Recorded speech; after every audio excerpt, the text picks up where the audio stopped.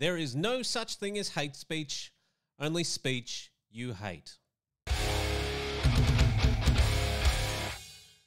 All right, mate, it's Madigan. One thing will become abundantly clear if you watch any of my videos, and basically why I decided to start this channel is that I despise the corporate media. I pretty much put uh, nearly all the responsibility on their shoulders for why we are so torn as a society at the moment, because it all stems back, in my opinion, to the time that an orange man decided to come down a golden escalator and say, I'm running for president. Ever since then, they've lost their mind and just basically went on a tear to declare everyone who disagrees with them as either a racist, a sexist, a misogynist, or whatever ist or phobe that you can think of. So every now and then, somebody from the corporate media gets a bit of a smackdown, and I'm all here for it. The most recent one happened to the BBC. And James Clayton decided that he would interview Elon Musk. And it's just brilliant. And I thought we should watch and laugh along because I just enjoyed this so much. So much so that why not? Let's have a beer and enjoy this one together, shall we? Ah, tasty. Here we go.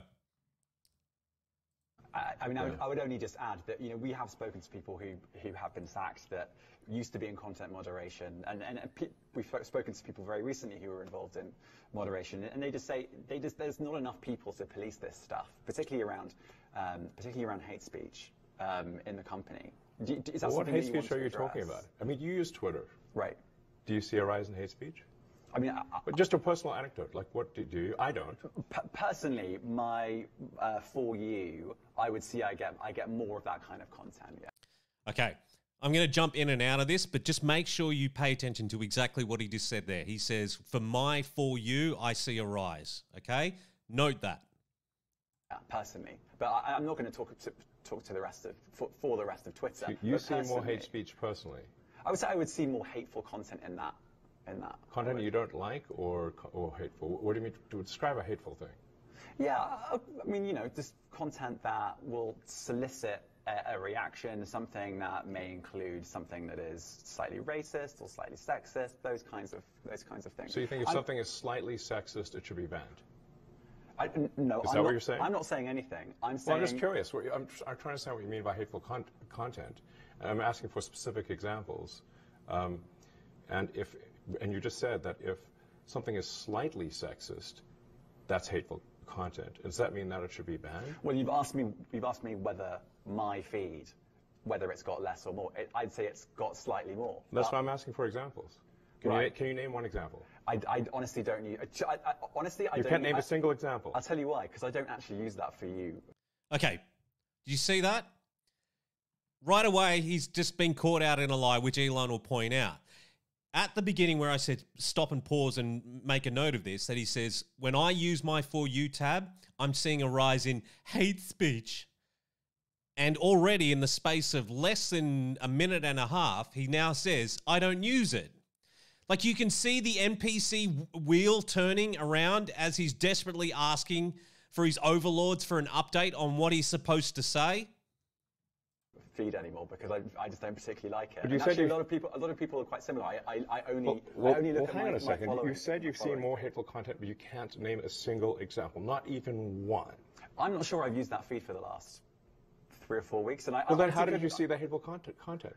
Because I've been I've been using. I've been using Twitter since you've taken it over for the last six months. Okay, so then you must have at some point seen the you for you hateful content. I'm asking for one example. Right. You can't give a single and, one. And, and, and, and I'm saying I've I, I- then I, I say, sir, that you don't know what you're talking about. really. Yes, because you can't give me a single example of hateful con- uh, content, not even one tweet, and yet you claimed that the hateful content was high. Well, That's false. No, what I You just lied. What no, no. What I claim was uh, there are many uh, organisations that say that that kind of information is on the rise. Now, whether whether it And now here he goes. Now he's saying that he's getting the information from elsewhere. So he knows he's been caught in a lie. So the NPC update has downloaded finally, and they say, point to another source that says that this is on the rise. This is totally disingenuous. has on Give my me feed one or example. not. I mean, I, right, and Literally you can can't look at something one. like the, the uh, Strategic Dialogue uh, Institute in the, U- in the UK. They will say that. So you, they, Look, people will say all sorts of nonsense. I'm literally asking for a Right. single example, and you can't name one. Right, and as, as I already said, I don't use that feed. But let's, Well, then how let- would you know? let- that I don't think this is getting anywhere. You literally said you experienced more hateful content, and then couldn't name a single example. Right, and as I said, I That's absurd. I haven't, I haven't actually looked at that feed. I Then would how would you know there's hateful content? Because I'm saying that's what I saw a few weeks ago. I can't give you an exact example. Let's move on. We have, we only have a certain amount of time. Um, Wow. co- COVID misinformation. You Amazing. The, COVID- you changed the COVID misinformation. Has rules. BBC changed its COVID misinformation? The BBC does not set the rules on Twitter, so I'm asking you. No, I'm talking about the BBC's misinformation about COVID. Again, the NPC wheel is spinning really, really hard because he knows people who are in this corporate media they, they they just know certain talking points. And the interview starts off with him with the talking point of hate speech and now he's now he's moved on to covid where he's trying to uh, trying to get him that uh, somehow Elon is now responsible for the rise in COVID rates. I don't know what he's trying to uh, uh, assign to Elon here because uh, Elon decided, you know what, all these COVID misinformation labels and all that sort of stuff was bollocks. And yet Elon is 100% right here with pointing out that BBC banged on with actual misinformation and disinformation, what I would just call outright lies. And he and he, and that wheel is turning. He can't handle it. I'm, I'm, I'm literally asking you about, you changed the labels, the COVID misinformation labels. There used to be a policy, and then it then disappeared. Why, why do that? Well, COVID is no longer uh, an issue. Does the BBC uh, hold itself at all responsible for misinformation re- regarding ma- masking and, and side effects of vaccinations and not reporting on that at all? And what about the fact that the BBC was put under pressure by the British government to change its editorial policy? Are you aware of that? This is, a, this is not an interview about the BBC. Oh, you thought it wasn't? and this, I see now why you've done Twitter Spaces. I am not a representative of the BBC's editorial policy. I want to make that clear. Let's talk about something else. You want I'm to talk about the BBC? All right, let's let's let's talk. All right, and that's basically where it wraps up. Isn't that amazing? Oh, I haven't seen a SmackDown like that since Cathy Newman. You remember Cathy when she interviewed Jordan Peterson? So what you're saying is, what's going on recently, Cathy? Oh, that's right. You blocked me. Oh, Cathy, why? So then the BBC went on a. Uh, so what this is all about is the fact that um, the BBC recently, amongst a whole bunch of others, got a label from Elon as government funded media. And for some reason, the truth has left them all butthurt. That they've now got a little label on their uh, on their um, on their Twitter feeds saying that they're uh, the government funded. Like why would they be upset about that? That's actually the truth. And Elon, if you're watching too, dude, uh, please, please, all the ABC uh, Twitter accounts here in Australia, they all need the same thing. I would personally put it down as taxpayer funded government propaganda, but that's just me. Um, so afterwards, the, the BBC went into damage control as well after this. So like the, like the beginning of the whole thing was about hate speech, hate speech, hate speech. And again, I say there is no such thing as hate speech. There is just speech you hate. And everyone's trying to point out, oh, this word is on the rise and that word is on the rise. And the thing is, I can point out the fact that other words are on the rise. And when I point out the fact that the other words are on the rise as well, I'm told that those words aren't as equal as the other ones. So I don't care about what you label as hate speech. So the BBC World Twitter account uh, posted this. Where is the evidence of hate speech on Twitter? I'm not going to read this because they just basically uh, try to, uh, you know, do some damage control. Where again, all they do is just point out, well, this word's on the rise and that word's on the rise. You know, so they could sit there and say that sexism is on the rise against females, but I can sit there and I can point out to you that the fact that there's a whole bunch of anti-male sentiment on Twitter as well has been so for quite a while but I'll be told that that's not sexism. So I just don't care.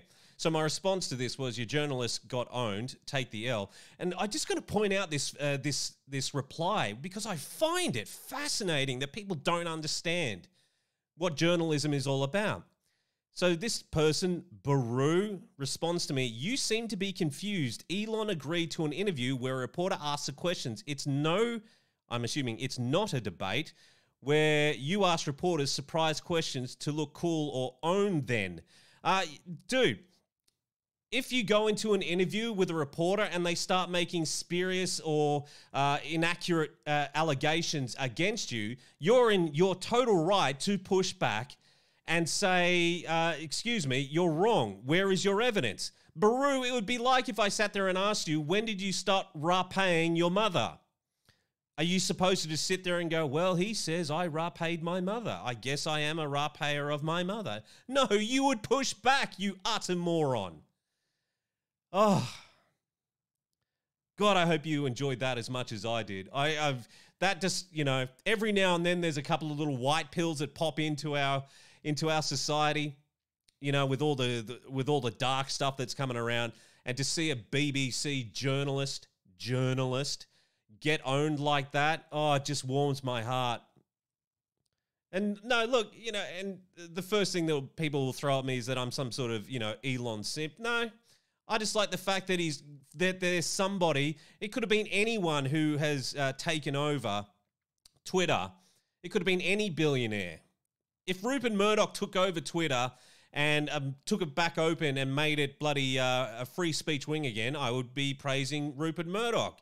Uh, I can't think of any other. Uh, what's his name? Who owns Amazon? What's that loser's name? Uh, Jeff Bezos. If Jeff Bezos did that and opened up Twitter so everyone could speak freely again, I would praise him. It's got nothing to do with Elon specifically. It's the fact that Elon has decided to open up Twitter for free speech again. And losers like uh, Clayton from the BBC uh, are losing their mind because they're with them having no power to control Twitter anymore, it means they get pushed back just like what Elon did, and they cannot handle it. And I am all here for it. I am loving it. All right, mate. Thanks very much for checking out the video. Thanks very much for checking out the channel. You can find me just by searching at the Bryan Madigan. I'm on all those platforms listed there. Don't forget there are audio only versions of these episodes as well. So if you don't have time to watch, you can always just listen. Just search at the Bryan Madigan on Spotify or Apple Podcasts. Leave a five star review. I would really love it. Uh, hopefully, I earned a subscription for this video. I would really appreciate it if I did. If not, just leave a like and please, you know, leave comments too. I'd love to know what you think. All right, are we done? Yeah, we're done.